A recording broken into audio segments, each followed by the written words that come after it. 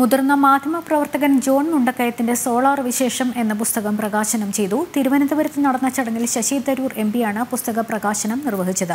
Solar കമ്മീഷനെതിരെ രൂക്ഷ വിമർശനമാണ് ചടങ്ങിൽ സംസാരിച്ച കോൺഗ്രസ് നേതാക്കൾ ഉയർത്തിയത്. പുറത്തിറങ്ങും മുമ്പേ വിവാദങ്ങൾ സൃഷ്ടിച്ച പുസ്തകമാണ് മുതിർന്ന മാധ്യമപ്രവർത്തകൻ ജോൺ മുണ്ടക്കയത്തിന്റെ സോളാർ വിശേഷം. കേരള രാഷ്ട്രീയത്തിൽ കോഴക്കം സൃഷ്ടിച്ച സോളാർ വിവാദങ്ങളുടെ ഉള്ള രഹസ്യങ്ങളും ഉമ്മൻചാണ്ടി എന്ന നേതാവിന്റെ രാഷ്ട്രീയ വ്യക്തിത്വവുമാണ് പുസ്തകം ചർച്ച ചെയ്യുന്നത്. Thiruvananthapuram C S I centenary ഹാളിൽ നടന്ന ചടങ്ങിൽ ശശി തരൂർ എം പി സാഹിത്യകാരി റോസ്മേരിക്ക് പുസ്തകം കൈമാറി പ്രകാശന കർമ്മം നിർവഹിച്ചു. മുൻ അംബാസിഡർ വേണു രാജാമണിയാണ് സോളാർ വിശേഷം അവതരിപ്പിച്ചത്. അവശേഷിക്കുന്ന ചോദ്യങ്ങൾക്കുള്ള ഉത്തരമാണ് പുസ്തകമെന്ന് രാജാമണി പറഞ്ഞു. ശ്രീ ഉമ്മൻചാണ്ടിയെ എങ്ങനെ ഈ കേസുമായി ബന്ധപ്പെടുത്തി? ഏതെല്ലാം തരത്തിൽ അദ്ദേഹം വേട്ടയാടപ്പെട്ടു? അവസാനം ആ വിവാദം എങ്ങനെ കെട്ടടങ്ങി എന്നൊക്കെ ഈ പുസ്തകത്തിലൂടെ നമുക്ക് വായിച്ചു മനസ്സിലാക്കുവാൻ സാധിക്കും. പിന്നാലെ സോളാർ ജുഡീഷ്യൽ കമ്മീഷനായിരുന്ന ജസ്റ്റിസ് ജി ശിവരാജനെതിരെ വിമർശനവുമായി പ്രതിപക്ഷ നേതാവ് വി ഡി സതീശൻ. ഈ ജുഡീഷ്യൽ കമ്മീഷൻ ആരാണെന്ന് പ്രഖ്യാപിക്കുക ഞാൻ തലയിൽ കൈവച്ചു കാരണം ഞാൻ ഹൈക്കോടതിയിൽ പ്രാക്ടീസ് ചെയ്ത അഭിഭാഷകനാണ്.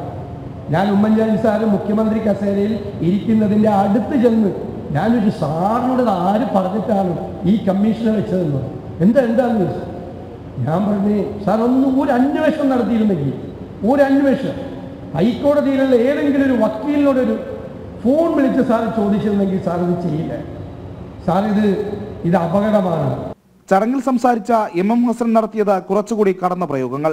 പരാതിക്കാരിയോടുള്ള അദ്ദേഹത്തിന്റെ ബാലിശമായ ചോദ്യങ്ങളെ കുറിച്ചെല്ലാം മുണ്ടൊക്കെ എഴുതിയിട്ടുണ്ട്. സത്യത്തിൽ സാധാരണ ഒരു ഞരമ്പ് രോഗി മാത്രം ചോദിക്കുന്ന ചോദ്യങ്ങളാണ്.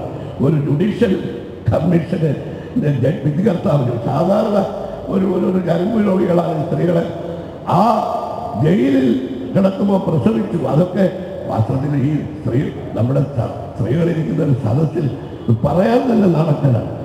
രാഷ്ട്രീയ വ്യത്യാസവും നിലപാടുകളും ആവർത്തിക്കുന്നതിനിടയിലും ഉമ്മൻചാണ്ടിയെക്കുറിച്ചുള്ള ഓർമ്മകൾ പങ്കുവച്ച ബി ജെ പി തിരുവനന്തപുരം ജില്ലാ പ്രസിഡന്റ് വി വി രാജേഷ്.